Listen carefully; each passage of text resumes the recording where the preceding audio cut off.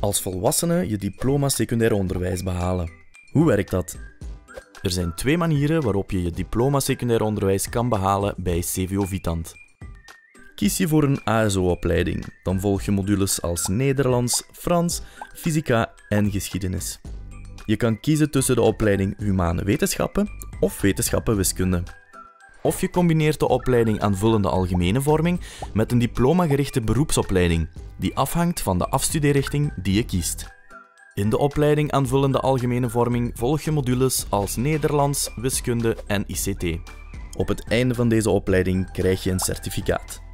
Als je daarnaast ook slaagt voor de diploma-gerichte beroepsopleiding, bijvoorbeeld de opleiding medisch administratief assistent of elektromechanicien, behaal je je diploma secundair onderwijs. Wil je meer weten? Kijk op cvovitant.be of kom naar een van onze infomomenten.